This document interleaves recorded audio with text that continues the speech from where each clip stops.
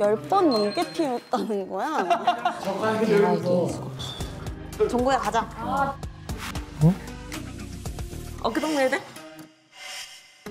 조용히 이야기 좀 하자. 예.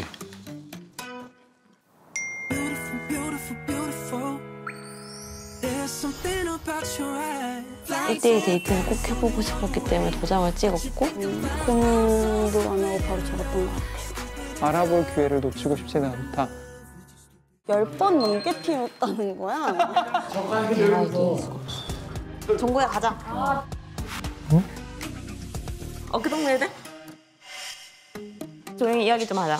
예.